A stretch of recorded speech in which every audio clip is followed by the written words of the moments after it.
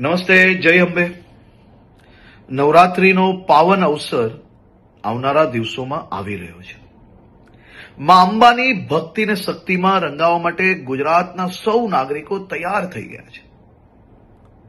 નવરાત્રીના આ પાવન અવસરે સૌ ખેલૈયાઓ દિલ મૂકીને માં અંબાની ભક્તિને શક્તિમાં રંગાઈ શકે, ગરબે ઘૂમી શકે તે માટે ગુજરાતના મુખ્યમંત્રી શ્રી ભૂપેન્દ્રભાઈ પટેલના માર્ગદર્શનમાં ગુજરાત સરકારે છેલ્લા અનેક વર્ષોથી નવરાત્રી મોડે સુધી રમી શકે, સાથે સાથે મોડી રાત સુધી નાના નાના વેપારીઓ, ફેરિયાઓ અને જે લોકો દરરોજ આ કામ કરીને એમનું પરિવાર ચલાવે છે, તેમનો ધંધો રોજગાર ચાલી શકે તેની બી ચિંતા કરવામાં આવતી હોય છે.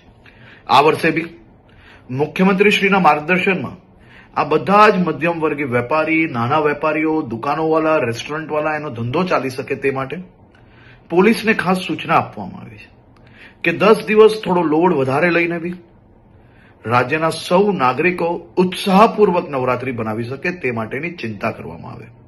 સાથે સાથે સૌ ખેલૈયાઓ અને આયોજકોને બી વિનંતી છે કે આપણું મ્યુઝિક, ડીજે, બેન્ડ આ બધું આપણા જ આજુબાજુમાં રહેતા લોકો અગર હોસ્પિટલની બાજુમાં આયોજન કરતા હો તો ત્યાં આ બધી જ જગ્યાઓ પર લોકો બીજા જે ત્યાં રહે છે તે હેરાન ના થાય, તેની બી જવાબદારી આપણી છે.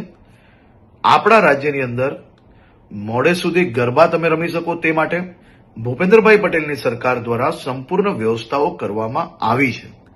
પરંતુ સાથે સાથે એક જવાબદાર નાગરિક તરીકે તમે બી સૌ લોકો પોતપોતાનો ફરજ અદા કરશો તેવો મને સો ટકા વિશ્વાસ છે. સૌ લોકોને ફરી એકવાર જય અંબે અને આપ સૌ લોકોને નવરાત્રીની ખૂબ ખૂબ શુભકામનાઓ હમણાંથી જ આપું છું. નવરાત્રીમાં દિલ મૂકીને આપ સૌ લોકો મા અંબેની ભક્તિ કરી શકો તેવી આપ લોકોને ખૂબ ખૂબ શુભકામનાઓ.